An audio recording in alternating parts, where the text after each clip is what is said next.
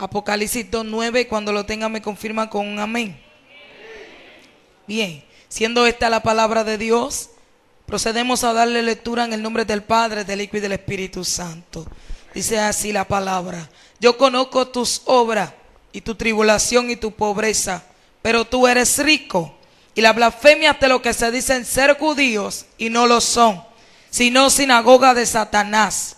No temas en nada lo que vas a padecer. He aquí, el diablo echará a alguno de vosotros en la cárcel para que seáis probados y tendréis tribulación por diez días. Sé fiel hasta la muerte y yo te daré la corona de la vida. Sé fiel hasta la muerte y yo te daré la corona de la vida. Bendito sea el Señor. Cierre su Biblia y acompáñeme a darle gracias al Señor por su palabra en esta mañana. Padre, gracias por tu palabra, Señor mío. Gracias porque tú eres Dios. Gracias porque tú eres bueno, porque para siempre es tu misericordia. Gracias por permitirnos estar aquí en esta mañana, Señor. Te agradecemos, Padre mío, eternamente, Padre Santo, porque tú eres bueno, porque tú eres escudo alrededor de nosotros, nuestra gloria, el que levanta nuestra cabeza, Señor. Te pido que este pueblo no haya tropiezo en mí, Señor amado, sino que tú me permitas ser canal de bendición para ellos y que tu palabra haga el trabajo por el cual tú le enviaste en esta mañana, en este día, Señor. Habla nuestras vidas, Señor Jesús. Habla, Padre mío, a tu pueblo en esta preciosa mañana a través de tu palabra. Rompe cadena, Padre. Permíteme enseñar tu palabra en esta mañana, Dios. Amén y amén. el aplauso al Señor y puede sentarse, por favor. Gloria, gloria, gloria, gloria a Jesús. Déselo fuerte al Rey.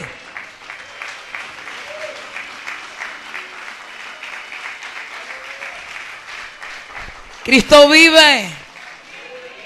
Es un privilegio estar en la escuela dominical. Amén.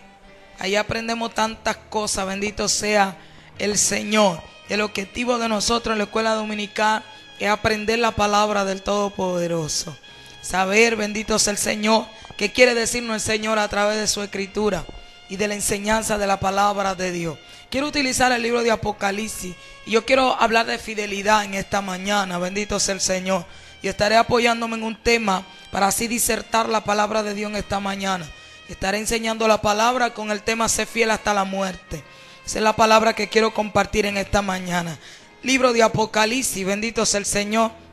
Un libro que muchos creyentes dicen que no lo entienden, que es complicado. Otros dicen que bendito sea el Señor, que un libro con mucha simbología y es cierto, bendito sea el Señor. Es un libro que tiene mucha simbología. Es un libro que lo podemos aplicar en pasado, presente y futuro. O sea que este libro abarca todo, abarca los hechos que ya acontecieron, alabado sea el Señor, abarca los hechos que están aconteciendo y los hechos futuros que están por acontecer. Alabado sea el Rey de Reyes y Señor de Señores. En este libro aparece en escena un hombre de Dios llamado Juan, quien es el escritor de este libro. Al escritor del libro de Apocalipsis se le atribuyen cuatro libros más que el libro según San Juan, primera de Juan, segunda de Juan y tercera de Juan. O sea que con el libro de Apocalipsis, nuestro hermano Juan escribió cinco libros, bendito sea el Señor, que pertenecen a la palabra de Dios y que fueron aprobados por el canon bíblico, bendito sea el Señor, comprobando que estos cinco libros, al igual que los demás libros, bendito sea el Señor de la palabra y algunas cartas como la carta Paulina que se les atribuyen a Pablo, fueron inspirados por el Espíritu Santo de Dios. El libro de la palabra del Señor, o sea, la Biblia, fue escrito, hermano, por diferentes escritores en diferentes tiempos, en diferentes circunstancias, en diferentes estados de ánimo. Bendito sea el Señor. Muchos escribieron estando presos, o sea, estando encarcelados, otros pasando por momentos difíciles, pero todos inspirados por el Espíritu Santo. En el caso de nuestro hermano Juan, el apóstol Juan, quien escribe el libro de Apocalipsis, cuando él escribe este libro, estaba encarcelado en la isla de Patmo, a 80 kilómetros de su ciudad natal, Éfeso. Bendito sea el Señor, al norte de Asia se encontraba nuestro hermano Juan cuando escribe este libro. Allí estaba encarcelado por causa del Evangelio. Bendito sea el Señor, pero podemos ver aquí, alabado sea Cristo, el poder de Dios, la benevolencia de Dios, que estando Juan encarcelado, Dios trata con él y le da una de las revelaciones más profundas que tiene la escritura, que es el libro de Apocalipsis. Y la palabra enseña, escribiendo nuestro hermano Juan, que estando él allí en pasmo, escucha una voz del cielo que le dice a Juan, escribe lo que ve. Yo soy el alfa y la omega, el primero y el último, el principio y el fin. La Biblia enseña que cuando nuestro hermano Juan escucha esta voz que habla con él, Juan cae como muerto, porque no era cualquier persona que estaba hablando con el apóstol, no era cualquier hombre que estaba hablando con Juan, era el rey de reyes y señor de señores que estaba hablando en la vida de Juan. La palabra enseña que cuando Juan lo escucha cae como muerto y esta voz empieza a hablar con Juan. Juan identifica a este personaje y dice que su mirada era como llama de fuego, que su calzado era como el de bronce bruñido, que tenía un cinto que decía rey de reyes, bendito sea el Señor. Juan empieza a explicar que su voz era como estruendo de muchas aguas, o sea, quien le hablaba tenía autoridad. Y este personaje era Jesús, bendito sea Cristo. Y él empieza a hablar con Juan y le dice a Juan que escribiera todo lo que Juan estaba mirando. Y Juan empieza a ver muchas cosas extraordinarias. Juan empieza a ver, bendito sea Cristo, a siete iglesias que se encontraban en Asia. Y nuestro Padre Celestial empieza, bendito sea el Señor, a decirle a Juan que le escribiera siete mensajes que iban dirigidos a lo que la, y describe el libro de Apocalipsis como los siete ángeles de la iglesia, que era dirigida a siete pastores que pastoreaban siete iglesias en lugares específicos del Asia. Una de estas iglesias el Señor empieza a hablarle y una de las cosas que le reclama es que había perdido el primer amor. El primer amor es importante en la vida del creyente. Los que hermanos dicen que el primer amor simplemente es cuando usted es nuevo creyente. El primer amor no puede apartarse de la vida del creyente. El primer amor es lo que te insta cuando tú aceptas al Señor a querer estar en la congregación, a querer congregarte, a querer asistir a los cultos, a amar la presencia de Dios, a buscar a Dios en ayuno, en oración. Cuando uno es nuevo creyente, uno siempre quiere llegar primero al culto. Uno quiere estar temprano. Uno quiere estar ahí, no quiere faltar. Uno quiere adorar. Uno quiere ayunar, uno quiere buscar a Dios, bendito sea Cristo, porque uno está en ese primer amor. Por eso es que de tanta importancia que el primer amor se mantenga en el creyente. Dele aplauso al Señor.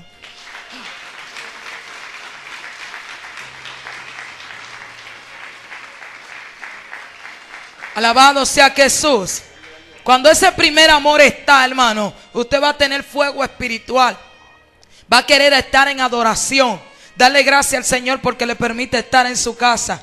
Va a tener amor a la lectura de la palabra de Dios. Hay creyentes que nada más se acuerdan de la Biblia cuando vienen al culto cuando vienen al servicio, pero luego que llegan a la casa, la ponen en un lugar y nunca más se acuerdan de la palabra de Dios hasta el otro día que vienen al culto. El creyente tiene que tener pasión por la palabra del Señor, porque este es el mismo Cristo, la palabra es Jesús. Y cuando usted estudia la palabra, es la forma más clara y más directa de que Dios hable a nuestras vidas. Un evangelista, un maestro, un predicador puede equivocarse a la hora de darle una palabra en una administración. Hay gente que son movidos por la emoción a la hora de ministrar y pueden decirle a usted lo que usted usted quiere escuchar, pero eso no asegura que esa palabra venga de parte de Dios. Ahora cuando el creyente estudia y escudriña la palabra, puede estar seguro de que el mismo Dios es quien le está hablando. Puede estar seguro de que el mismo Señor es que está ministrando su vida. Bendito sea el Cristo de gloria.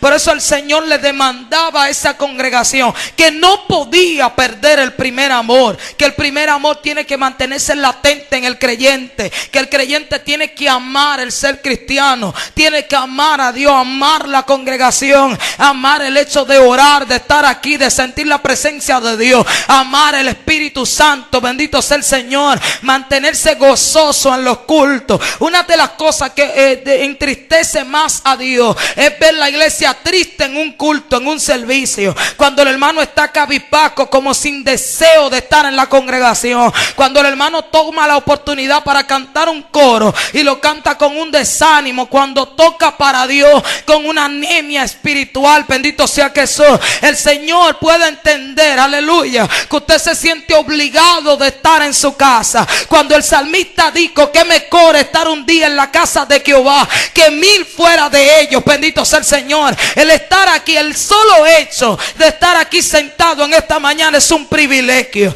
Muchos quisieran estar aquí en esta mañana y no pueden. Muchos quisieran volver a la vida para poder estar aquí sentados, para poder adorar a Dios y no pueden. Bendito sea el Señor. Algunos porque ya partieron de esta tierra, murieron, fallecieron. Otros porque no tienen las condiciones, no tienen la fuerza. Bendito sea Jesús para estar en la casa del Señor. Ser cristiano en estos tiempos, hermano, es un alto honor. Es un privilegio porque muchos quisieran, pero no tienen la fuerza para aceptar a Cristo. Bendito sea el Rey de Reyes. ¿Por qué no tienen la fuerza?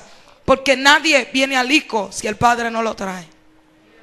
Si el Espíritu Santo no convence un alma de pecado, por mejor que nosotros prediquemos un mensaje, esa vida no va a aceptar a Cristo. Porque no hay forma de persuadir el alma. El único que convence de pecado es el Espíritu Santo de Dios. O sea que nosotros gozamos de un privilegio. Porque si usted y yo estamos aquí, es porque el mismo Espíritu Santo nos escogió a nosotros para vida eterna. Nos escogió para estar aquí, nos convenció, nos sedujo.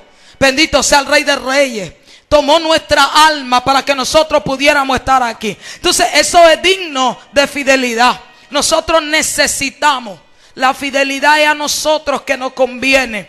A nosotros nos conviene serle fiel a Dios. Hay hermanos que entienden que tener una vida desordenada, una vida débil espiritualmente, lo va a llevar a la vida eterna porque el, por el simple hecho de que Dios es bueno, de que Dios es misericordioso, de que Dios nos ama tanto que no importa la conducta que usted tenga, usted va a entrar al reino de los cielos, pues no es así. Para entrar al reino de los cielos hay que serle fiel a Dios, hay que guardarse para el Señor, hay que vivir una vida agradable al Señor para que cuando suene la trompeta nuestra alma pueda ir al lado del eterno. Si el creyente muere en un acto de infidelidad, su alma no se va a salvar. Aunque usted tenga toda la vida siendo cristiano. Si Cristo viene, aleluya, en un momento determinado donde su vida no está agradando a Dios, entonces usted vino a perder el tiempo a la iglesia. Alabado sea el Señor porque automáticamente su alma se va a perder. Pero si se mantiene fiel, usted puede estar seguro que si Cristo viene, aunque usted esté en su empleo, su alma volará.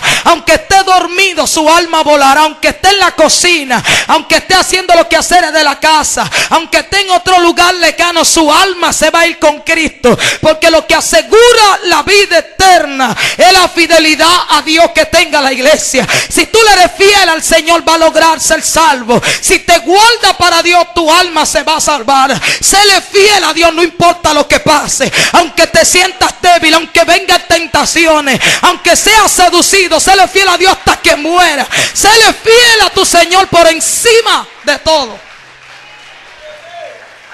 La fidelidad es muy importante. Una de estas iglesias, el Señor a todas le reclamó algo.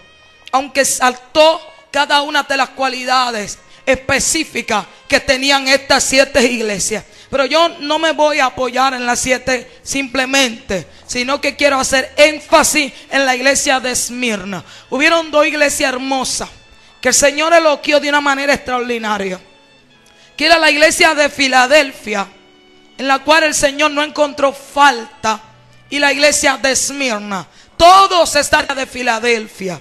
Bendito sea el Señor. Pero yo quiero utilizar, ya que no llegamos a la estatura de varón perfecto aún Todavía tenemos muchos defectos. Todavía hay muchas cosas que arreglar. Lamentablemente no hay una congregación perfecta. ¿Por qué no hay una congregación perfecta? Porque ni usted ni yo somos perfectos. Tal vez usted diría, pero somos el cuerpo de Cristo, pero estamos en un taller.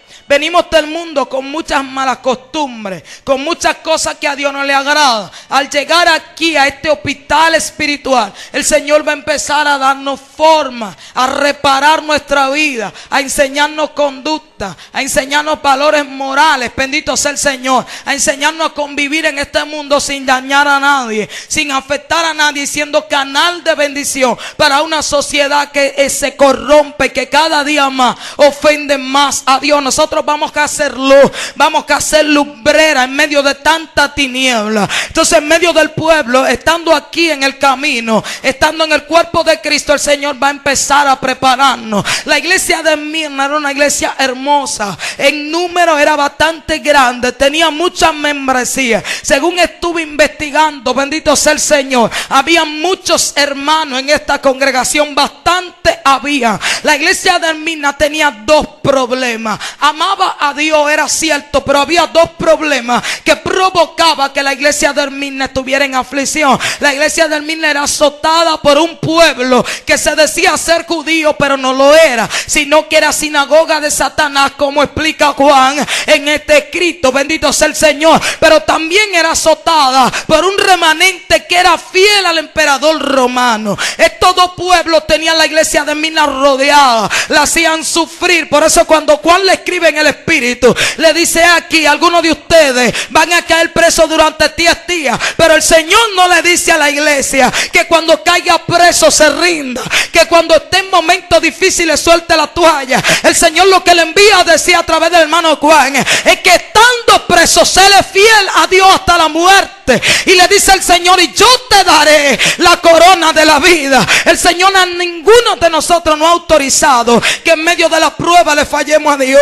Que en medio de la escasez le fallemos a Dios. Que en medio de los momentos difíciles le fallemos a Dios. Al contrario, el Señor lo que nos dice es que en medio de la tormenta le seamos fieles. Que en medio del momento difícil de escasez le seamos fieles a Dios. Porque es que Dios no te va a dejar morir de hambre. Aunque tú no tengas empleo, tú le sirves a un Dios que bien responsable. Aunque ahora no haya arroz en tu casa, va a llegar un momento que va a sobrar. Porque tú le sirves un Dios demasiado grande. Un Dios todopoderoso.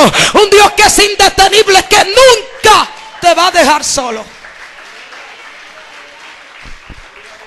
Aunque usted sienta que el agua le está dando al cuello, Dios está en control todavía. Dios es todopoderoso. Lo primero que debe de hacer creyente cuando llega al Señor es conocer al Dios que le está sirviendo. Cuando usted descubre la magnitud del poder que tiene aquel que lo llamó, muy difícil usted vuelva atrás. Muy difícil usted deje estos caminos para volver atrás o dude de su Dios. Aunque podemos decir que en un momento de prueba cualquier creyente puede dudar. La Biblia dice, bendito sea el Señor, que Juan, aquel que profetizó acerca del Mesías, que dijo que Jesús vendría, que venía uno que él no era digno ni de desatarle la sandalia de sus pies aquel que habló acerca del Rey de Reyes, de nuestro Redentor, cuando caen preso, le manda uno de sus siervos a Jesús. Le dice, díganle que si Él es el Cristo o si tenemos que esperar otro. ¿Qué pasó con Juan? En el proceso su mente se bloqueó. Lo visitó la duda. ¿Por qué lo visita la duda a Juan? Porque el proceso tiende a hacer que el creyente dude. ¿Por qué el creyente duda? Porque el creyente cuando tiene un problema quiere que Dios se lo resuelva ahora. Ya, hoy mismo, ahora mismo. Dios tiene otra forma de actuar. Porque Dios entiende que en el proceso es que nosotros crecemos espiritualmente. Ahí es que somos moldeados y en un día usted no va a aprender todo lo que Dios quiere enseñarle. Por eso hay procesos que toman más tiempo que otros. Juan, bendito sea el Señor, digo, alabado sea el Señor, escuchó la voz de Dios decirle que sobre el que él vea que descienda la paloma, este es el Cristo. Luego cuando está bautizando a Jesús, alabado sea el Señor, aquí aparece la Trinidad completa. Jesús el Hijo de Dios que está haciendo siendo bautizados. El Espíritu Santo que desciende sobre Jesús como paloma. Y una voz del cielo que se escuchó diciendo, este es mi Hijo amado en quien mi alma tiene contentamiento. Todo esto, cual lo vio, bendito sea el Señor, lo palpó.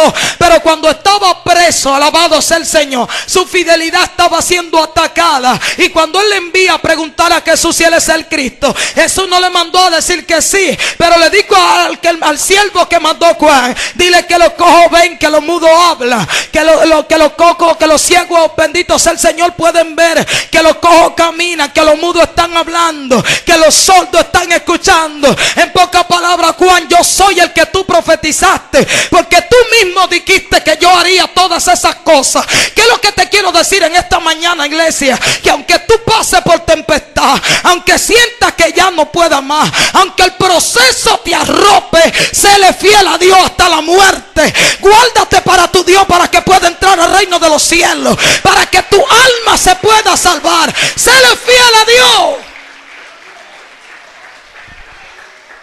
La Biblia dice que Satanás es padre de mentira y que en él nunca ha visto verdad.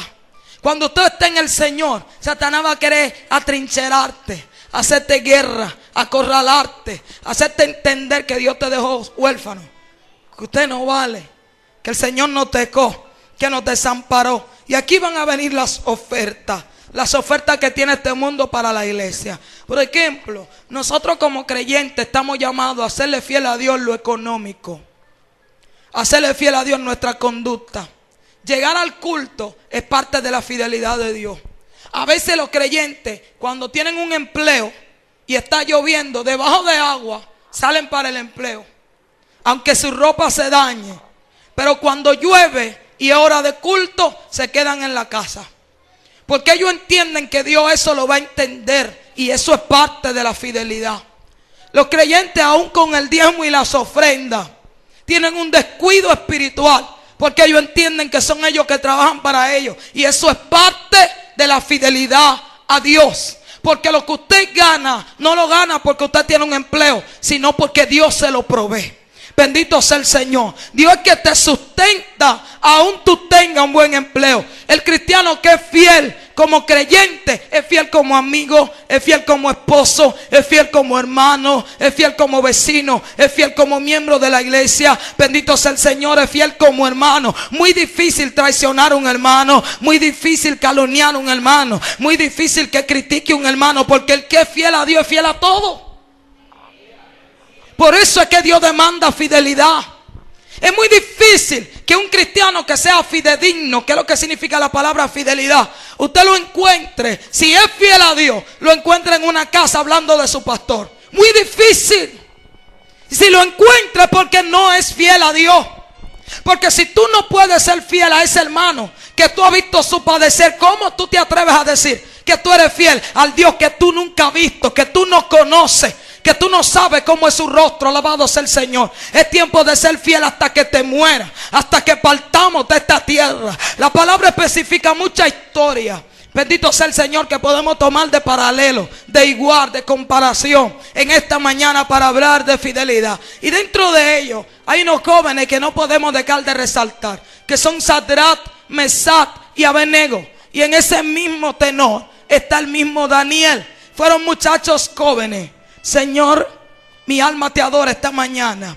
Muchachos jovencitos, bendito sea el Señor. ¿Por qué jóvenes? Porque Sadrat, Mesaya Benego oscilaban entre la edad de 14 y 15 años cuando fueron llevados a Babilonia. Y a pesar de su juventud, de su corta edad, le fueron fieles al Señor en aquel lugar donde estaban. Y no fue fácil. Para ellos fue bien difícil porque le cambiaron su, su cultura, le cambiaron su manera de alimentación, le cambiaron su nombre, pero no pudieron cambiar su principio. Bendito sea el Señor. Estos muchachos se mantuvieron, alabado sea el Rey de Reyes y Señor de Señores. Estuvieron ahí, alabado sea Cristo, adorando a su Señor, fieles a Dios, alabado sea el Señor, no cambiaron, fueron fieles al Señor a pesar de que su vida corrió peligro. Aunque nuestra vida se vea corriendo peligro, nosotros estamos llamados a serle fiel al Señor, hermano. Nosotros estamos llamados a guardarnos para Dios, que tu cuerpo sea agradable para el Señor, tu vida espiritual, que tu vida llegue con olor grato al Señor, que tú guardes tu cuerpo, guardes tus manos, guardes tu mente. La mente del creyente tiene que estar ligada al Espíritu de Dios. Cuando tu mente no está ligada al Espíritu de Dios, tú vas a cometer pecado, vas a cometer, bendito sea el Señor, todo tipo de maldad. Porque cuando el Espíritu de Dios está en una vida y tu alma está ligada a Dios, bendito sea el Señor, tú vas a tener la facilidad de que tu cuerpo va a ser gobernado por el Espíritu Santo. Todos sabemos que los pecados, la maldad, las transgresiones salen del alma, ¿verdad que sí? Por eso la Biblia dice que el alma que pecare, esa morirá. Bendito sea el Rey de Reyes. Entonces, cuando el alma, bendito sea el Señor, combate la carne, mire, el alma no quiere que tú seas fiel a Dios. El alma no quiere que tu carne se Pero cuando tu mente está ligada, bendito sea el Señor, a Jesucristo. ¿Por qué tu mente? Porque ahí es que viene el bombardeo. En la mente que están los ataques más fuertes del creyente. A usted se le levanta un hermano en la iglesia y cuando se acaba el culto ya usted no ve ese hermano. Pero cuando la guerra con tu mente, donde quiera que tú vayas, vas a escuchar tu mente atacándote. Nosotros tenemos en la mente consciente, subconsciente, inconsciente, tálamo y hipotálamo. Los sentimientos, benditos el Señor, nacen del hipotálamo. Cuando, por ejemplo, si usted se quema con un caldero, nosotros tenemos la capacidad, como seres humanos, de tomar un caldero de la estufa caliente y llevarlo a la mesa. ¿Usted lo ha hecho? Sin tener un pañito. Usted puede sostenerlo por un momento y llevarlo a la mesa. Ahora, cuando tu cerebro te dice que te está quemando, tiene que soltar el caldero. El cerebro dura un momento para reaccionar. Las personas que, que, que están en el mundo, cuando le dan un tiro a quemar ropa, bendito sea el Señor, a quemar ropa directo al mismo cuerpo, bien cerca, y le dan un tiro, esta persona puede salir corriendo. Pero cuando su cerebro le dice, te dispararon, la persona deja de caminar o de correr y cae de rodillas. Porque el cerebro le manda la información de que algo malo está pasando en su cuerpo. Tú no sientes el dolor hasta que tu mente no te dice que te duele. Bendito sea el Señor. Es tan fuerte el poder de la mente que cuando usted está sentado, si usted le da mucha mente a que está haciendo calor, usted no lo va a soportar. Y va a sentir la sensación de que se está asfixiando, de que no puede más. Pero cuando su mente controla su cuerpo, otra cosa va a suceder. Por eso la mente del creyente no puede estar vacía. La mente del creyente no puede de estar en blanco. Para el creyente serle fiel a Dios tiene que estar meditando en el Señor. Su mente tiene que estar puesta en el reino de los cielos. Tiene que estar meditando en el Rey de Reyes y Señor de Señores. Siempre tiene que estar meditando que tiene que salvarse. Que tú quieres la vida eterna. Que tú quieres ir al cielo. Que tú quieres ver a Jesús. Que tú no puedes fallar a Dios. Que tiene que serle fiel al Señor en todo. Entonces cuando venga la tentación, tu mismo espíritu te va a decir ser fiel hasta la muerte. Cuando tu mente está ligada a Dios, el día que tu cuerpo o tu alma quiera ron, tu mismo espíritu le va a decir, no alma mía, aquí todos somos cristianos. En mi cuerpo evangélico. Por eso el salmista cuando su alma no quería adorar a Dios, él le ordenaba. Y le decía, alma mía, tú tienes que adorarle. Porque Él es quien perdona todas tus iniquidades. Él es quien te corona de favores. Él empieza a hablar con su alma. Porque si por el alma y la carne fuera, nosotros todos fuéramos al infierno. Pero el Espíritu de Dios está dispuesto a que nosotros heredemos la vida eterna. El creyente no tiene excusa para serle infiel a Dios, para fallar a Dios, porque tenemos un Espíritu Santo. Y Dios está pendiente de nosotros. Dios tiene control de nuestras vidas. Cuando Juan escribe esta iglesia, bendito sea el Señor, esta iglesia pasando por de todo, sufriendo, bendito sea el Señor. Una de las palabras que me gusta es que el Padre, nuestro Padre Celestial, el Espíritu ahí hablando con esta iglesia, le dice, yo conozco tu tribulación y conozco también tu pobreza. Pero tú, dice el Señor, eres rico. Porque la mayor riqueza que puede tener un ser humano es tener a Cristo en su vida. Aunque usted no tenga la mejor casa de aquí de San Juan, aunque usted no tenga el mejor empleo, aunque usted no sea un empresario, bendito sea el Señor, que tenga mucha plata, usted tiene lo más fuerte que puede tener un ser humano, que es el Cristo de la gloria. Usted no es cualquier cosa, el que tiene a Cristo lo tiene todo. Y el que tiene a ese rey de reyes, tiene que ser motivado a guardarse para él. Que cuando un impío te vea, diga, ese cristiano.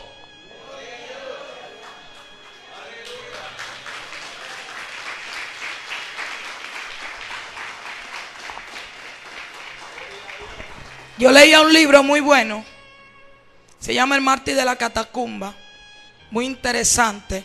Donde narra hechos verídicos de creyentes como nosotros que padecieron por causa de Jesús. El Evangelio, bendito sea el Rey de Reyes, conta en sufrimiento. Pero el sufrimiento no acerca a Cristo. Y si el sufrimiento no acerca a Cristo, que esta es una de las frases que dice el mártir de la catacumba, que si el sufrimiento no acerca a Cristo, pues bienvenido sea el sufrimiento, porque nosotros lo que queremos es estar cerca de Cristo. Y enseña este libro que Roma, su deporte favorito era el Coliseo romano. En el Coliseo romano llevaban los cristianos los creyentes, llámese mujer embarazada, niño y hombre, con toda su familia. Y el deleite de los romanos era amarrar o atar a los creyentes, bendito sea el Señor, los seguidores de Jesús, amarrarlo en un póster, bendito sea el Cristo de gloria, en este coliseo para soltarle leones, fieras, y el deleite de ellos era ver cómo las fieras devoraban la vida de nuestros hermanos. Este era su deporte favorito, pero lo que me llama la atención y lo que es digno de admiración era que antes de ellos llevar a alguien al coliseo lo interrogaban para que esta persona negara su fe para que se retratara, para que dijera que ya no va a seguir a Jesús, para que no lo matase. Pero cada uno de los creyentes que llevaban al Coliseo romano, a la hora que le preguntaban, bendito sea el Señor, si quería negar su fe, decía que no, preferían morir devorados por las fieras, devorados por los leones, que negar su fe, que negar al Cristo que ellos servían. Bendito sea el Señor. Un centurión le pregunta a uno de estos mártires, pero ¿por qué tú quieres morir de esa forma? Niega tu fe. Y él le dice, él le contestó, yo no puedo negar mi fe. Yo no puedo negar a Cristo porque Él nunca me ha hecho nada malo. Jesús nunca nos ha hecho nada malo nosotros. Si tenemos que padecer, vamos a padecer con altura, con la frente en alto. Si tú estás sufriendo, sufre por Jesús. Si estás padeciendo, padece como buen soldado. Sufrir por Cristo es un honor. Llorar por Jesús es una honra. Por eso para mí es muy molestoso cuando yo veo a los hermanos que por todo lloran. Que no tengo empleo, un llanto. Que me votaron del empleo porque soy cristiano, lloran y quieren dejar el evangelio. Otros murieron. Apenas nosotros los que estamos pasando por tribulaciones leves, por momentos y pruebas que no duran tanto, que son temporales. Bendito sea el Señor, que pasan en unos días. Mas estos hermanos perdieron su vida por amor a Cristo. Nosotros estamos llamados a darlo todo por Jesús. No de a poquitico, a darlo todo por la obra del Señor. Hasta la vida, si fuera necesario. ¿Usted se atreve a dar la vida por Jesús? ¿Seguro? Sea sincero. ¿Se atreve a dar su vida por Jesús? Dios bendiga lo que dijeron amén. Pero bendiga a los que fueron sinceros, que saben que no están dispuestos a dar la vida por Jesús. Porque es fácil decir yo doy la vida por Jesús. Pero si alguien te encañona con una M16 o con un arma de fuego de alto calibre con varios cartuchos, como puede hacer que pase antes de que suene la trompeta y alguien te apunta con esta arma de fuego, te dice, tú eres cristiano, ¿qué usted haría? Hay hermanos que esconden hasta la Biblia. Si le ponen un revólver al frente para decirle cierto que tú eres de los seguidores de Jesús, ¿quién yo? Porque si usted lo niega con poca cosa, más rápido lo va a negar cuando su vida corra peligro. Porque hay hermanos que niegan a Jesús hasta con la conducta que tienen en el barrio donde viven. Porque cuando usted se enfrenta con un impío a ofenderlo, a agredirlo, siendo usted un siervo de Cristo, usted está negando el nombre de Jesús. Usted está diciendo que todavía usted no es cristiano. Que usted no le es fiel al Rey de Reyes y Señor de Señores. Porque lo bíblico es que aquel que te ofende, tú guardas silencio. Es duro para el cristiano hacer esto. Pero Jesús dijo que si alguien te da en un lado de la mejilla, que haga qué? Que le dé tú también. Que le ponga la otra. Qué poco hacemos eso nosotros. Eso es parte de la fidelidad. Eso es parte de vivir para nuestro Señor. Hay hermanos que si le dicen, pero ustedes lo aleluya, de lo que adora al Señor, yo no conozco a esa gente. Yo no sé quiénes son esos. Pero usted anda con una Biblia y la van a tirar. ¿Cuál Biblia? Porque ahora que estamos tan tranquilos, cualquiera es cristiano. Cualquiera es evangélico en estos tiempos. Porque el evangelio se ha vuelto como una moda. La gente dice yo soy evangélico pero no sabe lo que está diciendo. No sabe el peso que es servirle a Dios.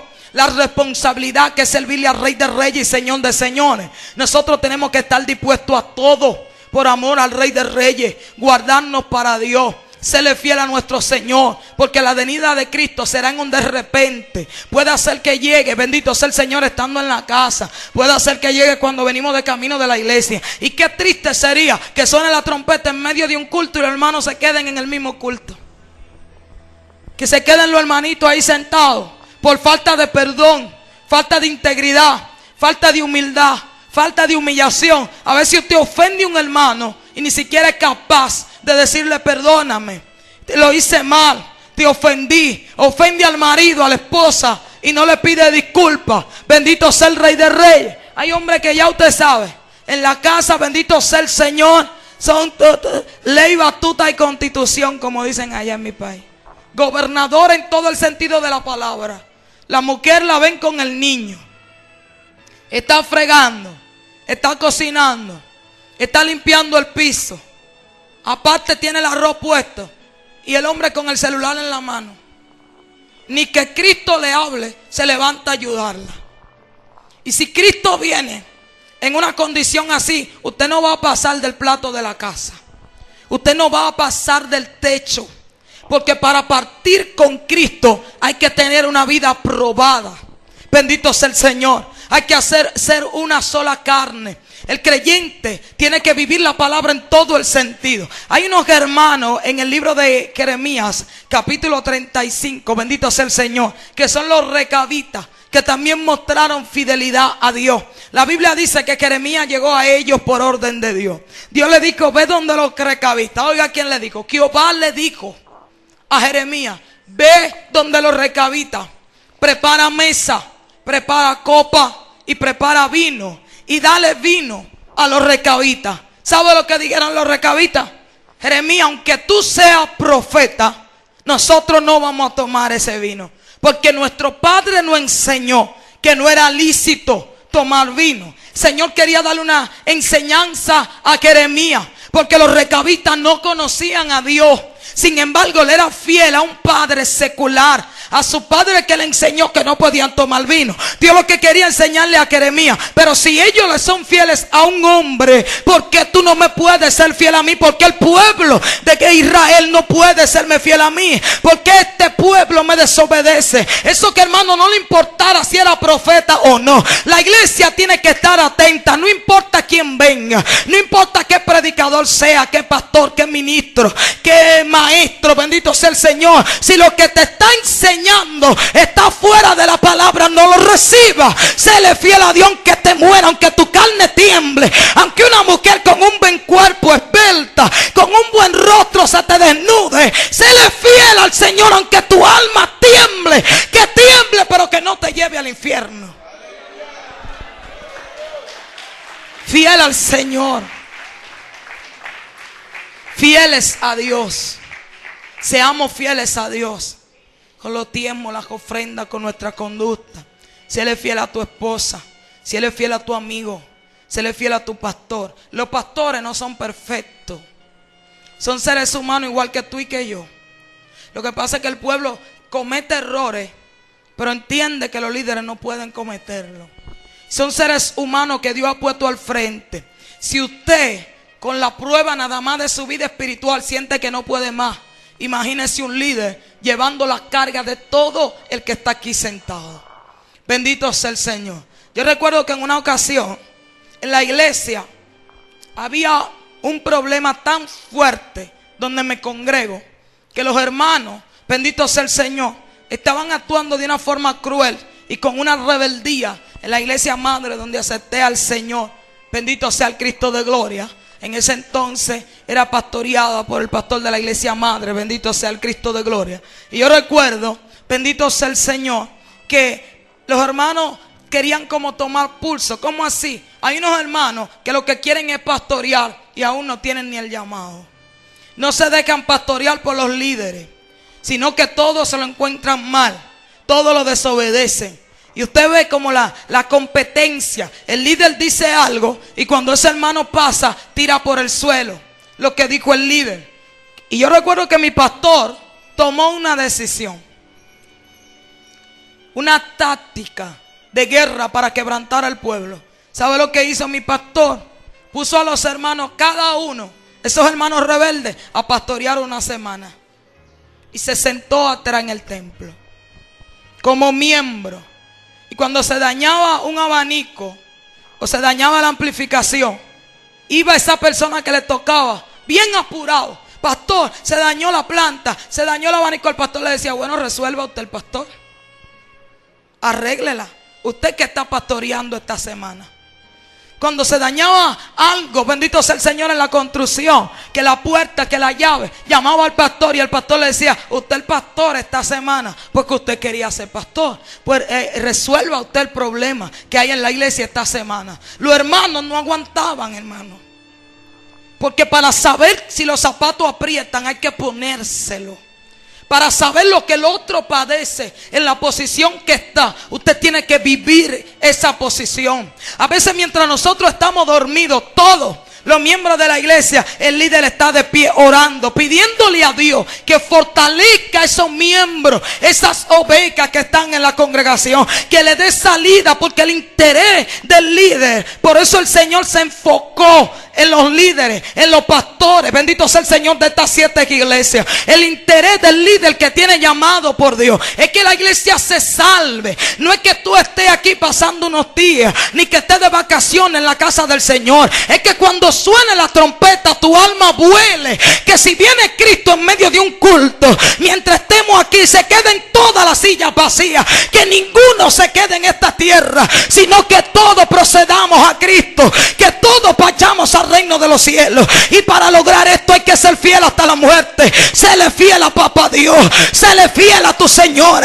Séle fiel a tu amado. Guárdate para Él. Séle fiel en tu casa, en el trabajo, en la cocina. Séle fiel para Barabasoca Tarabaquía. Oh, Basumacumacuá. Rabacui Barabasoya Mandanía. Se le fiel a tu Señor. Se le fiel a tu Señor, pase lo que pase. Aunque llore, aunque padezca, aunque sienta a veces que no vas a resistir, aunque tu marido te haga la guerra, aunque sea tu esposa la que, te, la que se levante, aunque sea tu mamá, tu papá, aunque sea tu hermano, se le fiel a Dios. Que nada te lleve al mundo, que nada te haga retroceder. Se le fiel al Señor hasta que parta de esta tierra. Hay un evangelio por ahí, bien errado que ellos enseñan la predestinación. Que ellos dicen que nosotros somos salvos, siempre salvos. ¿Ha escuchado hablar de esta denominación? Los salvos siempre salvos. Ellos enseñan que usted puede hacer lo que usted quiera y vivir como usted quiera. Y ya usted fue predestinado para salvación. Pero en este texto que yo he leído, la Biblia tira por tierra el argumento de los salvos siempre salvos. Porque hay una regla para la vida eterna. Y el Señor la dice aquí en este contexto, sé fiel hasta la muerte. Y yo te daré la corona de la vida. Esto no quiere decir que usted no tenga desliz, que usted un día no falle a Dios, que un día no cometa un error. Usted puede hacerlo, aunque no debe. Usted puede equivocarse, pero no puede hacerse esclavo del pecado. Porque la Biblia dice que el que practica el pecado es el diablo no puede practicar la falta. Si usted cayó, levántese. Si usted cayó, humíllese delante de Dios. Pida perdón a su Señor y vuelva a hacer lo que usted antes hacía, que era hacerle fiel al Señor. Pero si te atrapa, personal de la trompeta, siendo residente en un pecado, practicante de una falta que desagrada a Dios, tu alma se va a perder. Usted puede cometer un error. No deberíamos, bendito sea el Señor, pero como humano y estar en este cuerpo corruptible, en esta carne pecaminosa, con esta naturaleza adámica, estamos expuestos a fallar. Lo que no podemos es ser practicantes. Pero si usted se lo dispone, puede hacerle fiel a Dios, hermano. Si usted propone en su corazón que quiere ser fiel, usted le va a ser fiel al Señor en todo el sentido de la palabra. El que es fiel a Dios, aunque nadie lo vea, sigue siendo fiel. Hay hermanos que nada más son fieles a Dios cuando no tienen el teléfono en la mano. Pero de que tienen el teléfono, las redes sociales, provoca que ellos sean infieles. Pero hay otros que con o sin teléfono, con WhatsApp, sin WhatsApp, con Facebook y sin Facebook, con Twitter y sin Twitter, les son fieles al Rey de Reyes y Señor de Señores. A veces como creyentes nada más somos fieles mientras estamos en la iglesia sentados. Pero cuando se termina el servicio, se nos olvida que somos creyentes, que somos nueva criatura, que debemos honra y gloria al Todopoderoso. Hermano, hay un suspenso en el mundo espiritual. Cristo viene de camino ya. Jesús está a punto de aparecer. Es tiempo de reconciliación, de perdón. Amén de buscar a la persona que hemos ofendido, de pedir perdón al esposo, al marido, a la compañera, a los líderes, de reconciliarnos con el vecino, porque Cristo aparecerá y está a punto de aparecer. Bendito sea el Señor. Ya la naturaleza está predicando sola. Los cambios climáticos, meteorología dice que va a llover y ese día no llueve. Y el día, bendito sea el Señor, que dice que no va a llover, ese día llueve, porque el mismo Señor lo tiene trastornado, porque aquí el que gobierna es Jesús sobre todas las cosas. El rey ya viene y viene por su pueblo. Dios demanda fidelidad. Aunque tú veas que otro vive una vida deliberada y digas que evangélico no lo hagas tú, tú marca la diferencia. Aunque otro haga algo que tú entiendes que a Dios no le agrada, no lo hagas tú. Lo que tú no estás seguro que es pecado, no arriesgue tu salvación. Si tú por la Biblia no estás seguro, no arriesgue la salvación. Mejor no lo haga. Porque hay hermanos que con algo con un texto o con un punto doctrinal, tienen confusiones. Están dudosos. No están seguros si es o no es pecado. Cuando usted esté así, no lo haga.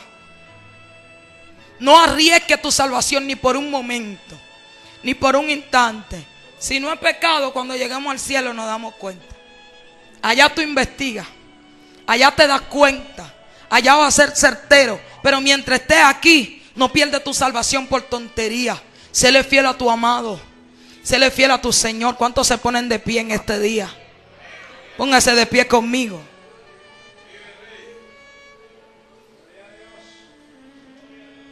Sé fiel hasta la muerte. Y yo te daré la corona de la vida. La fidelidad mueve a Dios, hermano. Yo fui a un lugar a ministrar la palabra del Señor. Con esto culmino. Y estando allá, bendito sea Cristo, lo primero es que estaba encerrado. Y mientras estoy en un ayuno de varios días, llegó una mujer vestida de cristiana, pero no era cristiana.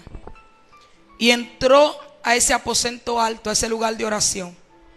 Y mientras yo estaba de rodillas, ella decía, ¿por qué duras tanto orando?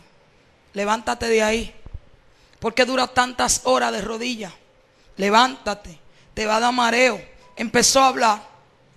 Y yo en los ayunos no me gusta hablar con nadie, solo con Dios. Porque cuando tú estás ayunando y hablas mucho te debilita. Incluso la oración del que ayuna tiene que ser pasiva.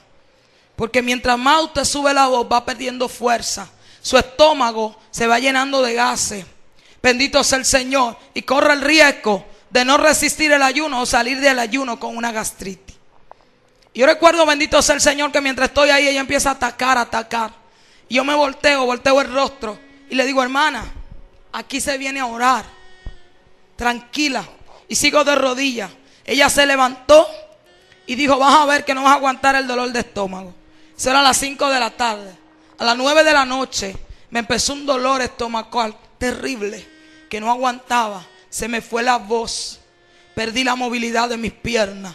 no podía moverme. Tenía un dolor, no podía mover las manos, no podía hablar. Empiezo a quejarme, a quejarme, pero sin profesar palabra. Una hermana que estaba ahí me dice, ¿qué me pasa? Pero cuando ve lo mal que estoy, va y busca al pastor. Cuando el pastor llega a las 2 de la mañana al lugar donde yo estaba de ayuno, el pastor le dice a su esposa, vamos a llevarla al médico. Pero antes de llevarla al doctor, necesitamos hacerle un caldo, una sopa para que el médico no diga, usted sabe que los doctores dicen que nosotros lo que pasamos hambre los que no son cristianos, porque no entienden el ayuno. Lo que dice, dele comida, qué hambre que tiene ese cristiano. Bendito sea el Señor. Pues cuando me manda a hacer la sopa, que la pastora viene con la sopa, me la ponen en una almohada. Cuando me dé el olor la sopa, bendito sea el Señor, el Espíritu Santo trató conmigo. La pastora tomó una cuchara para llevarla a mi boca y darme la sopa. Bendito sea el Señor. Y cuando iba a darme la primera cucharada, el Espíritu Santo me dijo, si te comes la sopa, viniste a pasar hambre. Yo te traje aquí por siete días y apenas tú llevas tres. Tú no has terminado. Ora por ti porque el pueblo estaba confundido. Los hermanos, el líder, no hubieran orado por mí. Dios me dio movilidad en la mano. Empecé a orar por mí, a tocar mi estómago, mi cuerpo. Bendito sea el Señor. Y ahí en ese ayuno Dios me dijo, la mujer que entró aquí no era cristiana, era una bruca. Bendito sea el Señor. Y vino a atacarte directamente para que tú no puedas hacer el trabajo que vas a hacer. Porque yo iba a una provincia de campaña, bendito sea el Señor. Y el diablo la mandó allí, bendito sea Cristo, para evitar que yo llegara a esta campaña. Cuando yo me levanto, bendito sea el Señor, hablando en lengua, le digo al pastor, hubo una mujer que me visitó, tenía el pelo roquizo, era de esta manera, tenía una verruguita en la cara, al lado derecho de sus labios, bendito sea el Señor, la conoce. Cuando el pastor me dijo, sí la conozco, es una bruja, una hechicera, y vive a dos calles de aquí, bendito sea el Señor, le digo al pastor, llévese la sopa. Dios me dijo que no entregue. Empecé a guerrear en el espíritu, a orar. La fidelidad es como una cobertura, hermano. Cuando tú eres fiel a Dios, Satanás va a querer tocarte, pero no va a poder. Cuando tú eres fiel al Señor, el mismo Dios va a cuidar de tu vida como cuidó de Job. Alabado sea el Señor. Los demonios no van a poder tocarte, aunque te hagan guerra. Yo recuerdo que cuando cumplí los, siete días de ayuno, que me iba, le dije al pastor, páseme por la casa donde vive la mujer, no para entrar. Quería confirmar algo. Y cuando pasamos frente a la casa, hermano, mire, la Biblia dice que no podemos ignorar las maquinaciones de Satanás. Cuando yo pasé por aquel lugar, la hechicera salió de su casa vestida de negro, con una vela al revés, en una botella de agua y fumando un tabaco. Y cuando ella sale, yo entendí por el Espíritu que ya los demonios sabían que yo estaba ahí parada. Porque los demonios son más reales que usted y que yo que estamos aquí. Por eso hay que serle fiel a Dios porque con Satanás no se juega. Para que tú no pierdas autoridad para que tenga autoridad para arrepender, para atacar toda obra diabólica, para deshacer toda obra de Satanás. Yo recuerdo que cuando ella salió, me dijo de lejos, te conozco y sé para dónde tú vas. O sea que el espíritu inmundo que había en ella sabía que yo iba para una campaña, para una ciudad de alta idolatría donde todo lo que se ve por allí es hechicería. Y Satanás no quería que yo llegara a esa campaña. Cuando ella me dijo, te conozco y sé para dónde tú vas. Yo bajé del vehículo y le dije, yo también te conozco. Sé quién tú eres y no te tengo miedo porque sé en la mano de quién estoy. Bendito sea el Señor, era un demonio. Lo que allá le dicen Petro, que es un demonio africano. Alabado sea el Señor, que no quería que yo fuera a aquella actividad. Me monté en el vehículo, hermano, y lo que yo viví en esa actividad fue algo extraordinario. A Dios no lo detiene nadie. Pero cuando tú fallas, a Dios pierde fuerza. Los demonios te conocen, ellos ven lo que tú haces, dónde tú te metes, dónde te pones la mano, si te tocas o no te tocas. Los demonios ven cómo tú eres en tu casa, cómo es tu comportamiento. Por eso hay tanta guerra en el pueblo de Dios. Porque hay un remanente que no está siendo fiel a Dios. Y hasta para moverse el Espíritu Santo es una guerra. Hay que hacer fuerza para que Dios pueda romper cadenas, porque la infidelidad de los hermanos provoca que los espíritus inmundos tomen posesión de los cuerpos, que hagan guerra dentro de la congregación. El secreto está en la fidelidad, manito del alma. Se le fiel al Señor, hermano mío. Se le fiel a tu Dios hasta la muerte. Guárdate para Dios. Empieza a arreglar tu vida espiritual. Las cositas que tú ves que a Dios no le agradan, vela anotando en una hojita. Tú mismo evalúate, siéntate este día en tu casa, siéntate en tu cama y dile al Señor, Padre, yo quiero que tú cambies mi vida, que saque de mi vida lo que no te agrade. Y con un lapicero, un bolígrafo, un lapicito, tú tomas una hoja y haces una lista de todas las cosas que hay en ti que a Dios no le agrada. Y cuando tú estés de rodillas, llama a esa cosa por su nombre y dile al Señor, yo no quiero ser iracundo, yo no quiero ser mentiroso. Mi alma adora Rey de Reyes, yo no quiero pelear tanto, enojarme tanto. Yo no quiero maltratar a mis hermanos, yo no quiero criticar, yo quiero serte fiel. Y empieza a desligarte de toda esa malicia. Yo renuncio a ser hipócrita, yo renuncio a la mentira. Y métete en guerra espiritual porque ya no vamos de esta tierra. Mi alma adora al Rey de Reyes para que nos vayamos con Cristo. Cristo viene, Cristo viene a levantar su pueblo, su iglesia. Se le fiel a Dios hasta la muerte.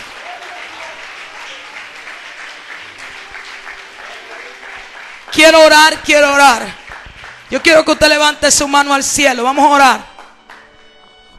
A mí me gusta dejarme dirigir por Dios en la administración.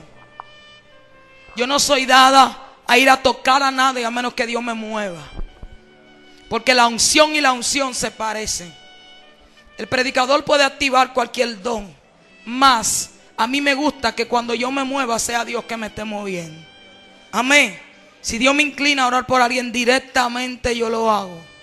Pero si Dios me manda a orar de forma global, así lo hacemos. Perfecto. Vamos a darle gracias al Señor. Yo quiero que tú le pidas a tu Dios que te ayude a serle fiel. Padre, en el nombre de Jesús. Yo te presento cada vida que está acá en esta mañana. Yo te pido que tú ayudes a mis hermanos, Padre mío. Que tú guardes cada vida que esté en este lugar. Que tú nos ayudes a serte fiel, Dios eterno. Padre, gracias por cada hermanito que está aquí, por lo que faltaron. Gracias por los pastores que tú tienes en este lugar, por el pastor, su esposa. Te pido, Señor mío, que tú le sigas ayudando. Mira esta obra que necesita terminación, Padre Santo. Abre los cielos a favor de esta casa, de esta tu iglesia. Abre los cielos, Padre mío. Suple, sustenta. Ayuda a tus hijos que tú lo has puesto en este lugar. Ciérrale la boca al diablo, a los leones. Ponlo en alto. Señor amado, yo entiendo que la guerra no ha sido fácil. Bendito sea el Señor. Miren, mientras yo meditaba en el Señor, aleluya. Llegando aquí que me senté, yo sentí esa guerra espiritual no por ustedes, sino que el Señor me ponía a sentir lo que ha peleado esta iglesia, lo que han peleado estos líderes para tener esta iglesia de pie. Mi alma adora. El diablo no quería esta iglesia aquí.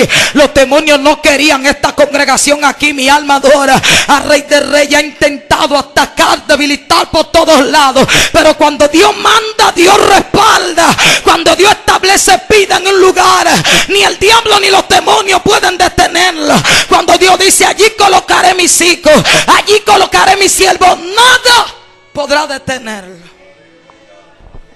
Las obras de Satanás no van a prevalecer en contra de esta casa. Yo bendigo a esta congregación en el nombre de Jesús. Cada vida, cada hermano. Fortalece a los hermanos, Señor. Fortalece cada vida. Gracias por permitirme enseñar tu palabra.